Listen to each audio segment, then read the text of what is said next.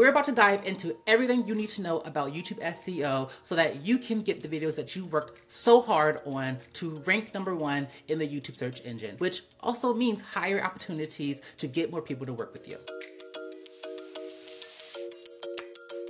If you're new here, my name is Jamar Diggs. I'm a YouTube strategist and I help businesses leverage YouTube to create a more low-lift marketing strategy. And in this video, I'm going to take you through some of the core steps that, that help me and my clients rank in YouTube search. If you're interested in using YouTube for business, I have a whole free training that walks you through my exact YouTube content strategy that helps me and my clients double their email list and get clients faster. It's called the YouTube Funnel Blueprint, and you'll be able to find that link in the description down below. Now, before we dive into how to optimize your YouTube video to rank in YouTube search, it's really important to understand the why behind we're doing these things. So let's go through some of the key things that YouTube looks at in each and every video to determine that where it should go inside the YouTube search engine. The first thing that, that they look at is going to be like the topic, right? So does the topic align with the query that the user has put into the search engine? Then it's going to be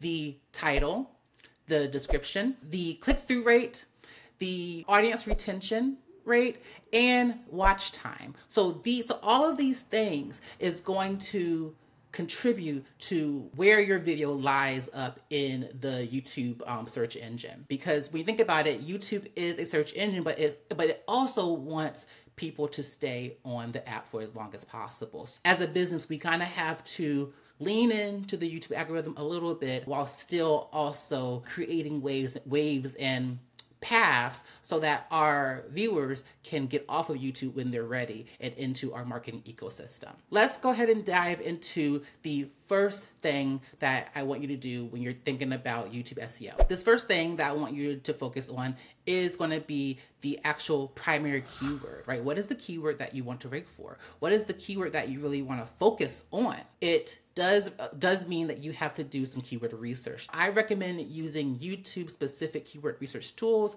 like TubeBuddy and vidIQ and looking at these keywords and phrases that have a high search volume and low competition. And just to give you an example, just the other day I was scrolling through vidIQ and I was looking at terms for Dubsado, which is a small business um, CRM. And literally it has a high search volume and low competition. And then even if you go into the YouTube like search engine, right? And search for and search for Dubsado, you see that it's mostly just Dubsado that is making videos, right? There's very very little new content related to Dubsado. And then when you look at some related keywords and filter by search volume, you start seeing so many other opportunities for you to really stand out with this kind of keyword. So if you were a systems person or if you focused up on Dubsado, YouTube could really be a great place for you to start getting more visible and getting more people into your marketing ecosystem. Doing this first step for YouTube SEO is so important because you kind of have a list of topics that you can even go for and you can kind of see if there's a window where you can fill in this gap to deliver more content that people are like searching for. You can get them started and create a whole YouTube funnel to get them into your marketing ecosystem. Like I said, I have a free training all about that. Definitely download that and it will help you figure out what types of video topics you could make based upon um, this keyword research. Okay, so you have your topic, but now it's time to actually record it. And it's really important that you are creating quality videos that are going to grow your business, but also help the YouTube algorithm. So I want you to keep this in mind that every single video that you make for YouTube should be a powerful marketing asset. And the way that we do this whole thing is that we make sure that we're able to seamlessly blend in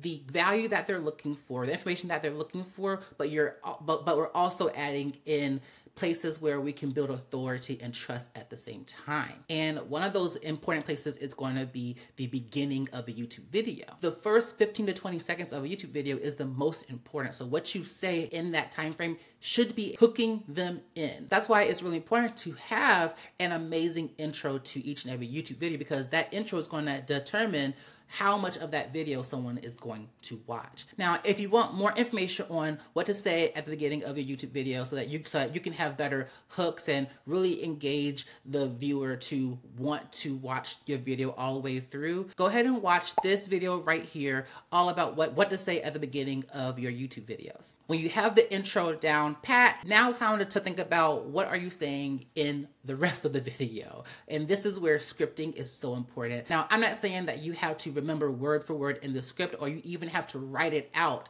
as if you're about to go to Hollywood, but it's nice to have a nice outline of what you're going to say so that one, you can stay on track. You know that your viewers are going to um, get the transformation or the value out of the piece of content that you want them to watch. And it's a very easy way for you to plan out where do you want your, your, your call to actions to go. And one of the biggest things that is missing in YouTube videos when it comes to business owners wanting to attract problem-aware people into their sales funnels is the power of storytelling. We spend too much time just giving people what, what they want and then they just kind of just go away. And we don't build that authority or that trust or that kind of connection with anyone. I have another video that's talking all about what to really add to your scripts. And one of those things is really about storytelling. So if you want some advice on how to really make a script that is going to help you convert viewers into clients, go ahead and watch that video. I'll link it here and put it inside of the video description. Once you have recorded this video, now it's time to focus on optimizing the video for YouTube. When you upload this video into YouTube, what are you naming it?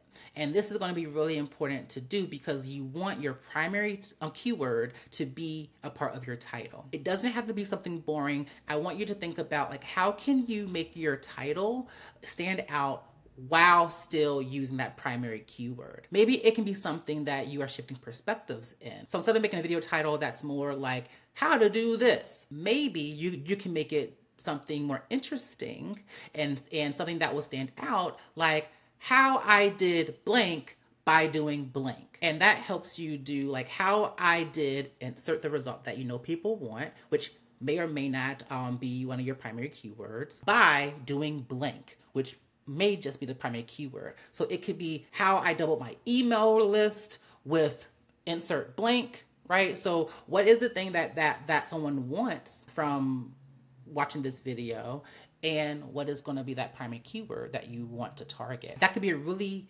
nice, easy way to have a video stand out in the search engine because there's probably a bunch of other videos that's like how to do this, how to do that, like how to do whatever. But if you made the title a little bit more engaging and compelling, this may make people want to click more, which could also increase your click through rates. Now you have your title that you want to use for your YouTube video. Now I would recommend finding tags that relate to your video. So I like to make my tags more like secondary keywords. And I would find this just like how I would um, with my primary keyword using TubeBuddy or vidIQ. And it's as simple as typing in your primary keyword that you just found and then searching for other matching similar keywords that make sense for you to add inside those things. So what are some of the relevant keywords that you found while searching for your primary keyword that you can add as tags inside this video. The next step in YouTube SEO is really creating a thumbnail that is going to stand out. You want your thumbnail to be as compelling and enticing that people will want to click on it. And one of those things is making sure that it looks, looks probably different than all of the other videos out there. Since you have your title, I would probably do a little search on YouTube and see what other videos are popping up for that title and then seeing what are some ways that you could make your actual thumbnail different than that and to stand out a little like a little bit more. One of the other ways that you can make your thumbnail a lot more engaging is by making sure that the text is something different than what you write on the title. This is a big mistake that new people who are starting a YouTube channel for business do because they think that okay, the title is this, I should put the title on the thumbnail, right? It just kind of makes sense. I get it. I want you, to understand that one of the main things that um, determine whether or not someone is going to click onto your video out of all the other videos in the search results is going to be the topic. If it, it like if it aligns with what they're looking for the title the thumbnail the video description, and also maybe even titles. It's so important to make sure that the thumbnail complements everything else that that they see. I would use that real estate to my advantage, right? So instead of just making the text be the same as the thumbnail and the title, what can you say in the thumbnail that kind of makes it even more compelling to click on. The next step into optimizing your YouTube video for YouTube SEO is going to be creating a keyword rich video description. And in this video description, I want you to focus up on your first two sentences in here, okay? In your first two sentences, I want you to include a hook and your primary keyword. When you're searching on YouTube, your first two sentences inside of the YouTube video description shows up. And so it can influence whether or not someone will click on your thing. Like just think about it. If you have a amazing title, amazing um, thumbnail, and then they read that little description, the little first two sentences of the video description, and it hits exactly what they're looking for, there's a likely chance that they're going to be able to click on that. So many people kind of miss this opportunity by just adding like a link there or something like, like that. But that can be read outside of them actually clicking through the video. It does contribute whether to whether or not someone is going to click on it or not. So I want you to use that to your advantage. The next thing that you're going to do is in the rest of the description is use some of your secondary keywords or those tags throughout your description without keyword stuffing. So create a light overview of your video, say what's in it, say what you're going to be talking about, and find creative ways to add in some of those tags into that video description. You're giving YouTube a lot more information on what this video is going to is going to be about, and you're also hitting other secondary keywords on top of the primary keyword, which is great to do. Inside of this video description, you're going to also create chapters or timestamps inside your YouTube videos. And in these chapters, you have the ability to also add relevant keywords to them. You don't really have to keyword stuff your, your, your, video description in that little overview of what the video is about because you could also use the chapters to highlight other certain types of keywords just naturally, especially if you're talking about it naturally. Your chapters don't just have to be like tip one, tip two, tip three. It can be something like how to upload this, how to do this, this versus that right? Whatever you're talking about inside of the video, you can see like what are some, what are some ways for you to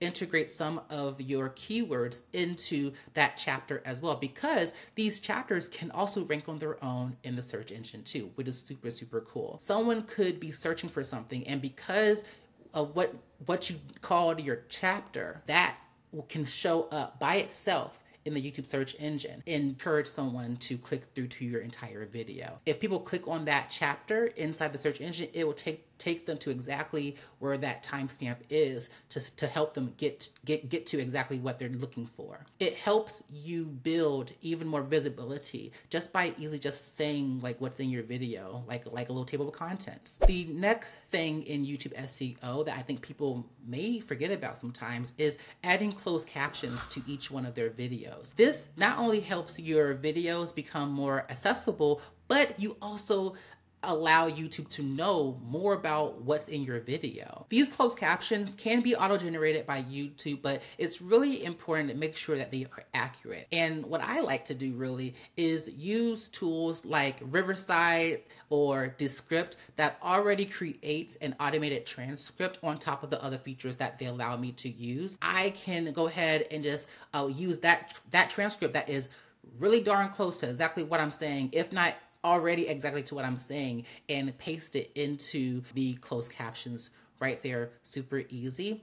I actually have a YouTube video on how I'm actually using Riverside to do all this. So if you want to learn more about the automatic transcript um, features inside of Riverside along and some of the other ones, feel free to watch that video. I'll link it here and inside the video description as well. The next step into this whole YouTube SEO process is choosing the relevant cards and end screens, but also just just linking relevant videos in your video description. So maybe this whole thing is just making sure that that that you have a binging effect happening at all times, right? So create so linking relevant cards inside the video itself and also having end screens that is going to recommend some of your other videos as well in the last 20 seconds of each video, but also adding some other videos that that that you've done inside the video description as well.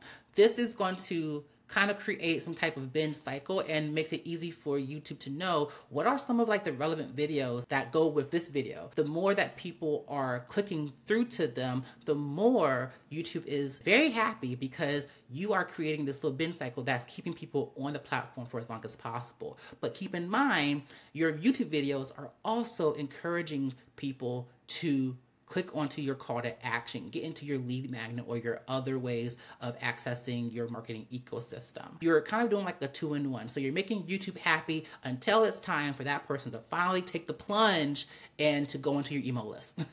and the final thing that I think is so important as well, um, I've probably been saying everything is so important, but everything is important.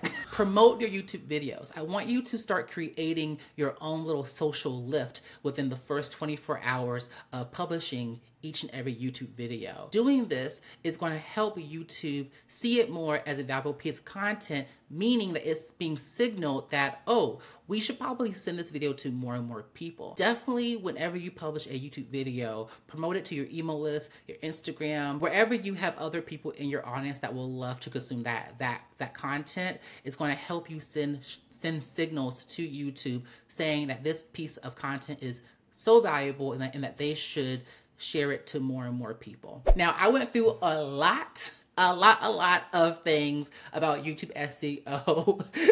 and I hope that you're taking notes and I hope that you actually add some of these things into your workflow. Now, I talk about YouTube SEO a ton inside of my membership, the Low Lift Club, where you can also have access to all of my training step by step about that. Go into keyword research, YouTube SEO, all the things that that that you need to start and grow your YouTube channel for business. You can also buy the trainings individually for lifetime access. I'll link all of that stuff down below depending on like what you want to do. If you like this video, please let me know by subscribing to this channel, giving this video a like, and finding me up on Instagram and tagging me, telling me that you watched this video and how much you liked it.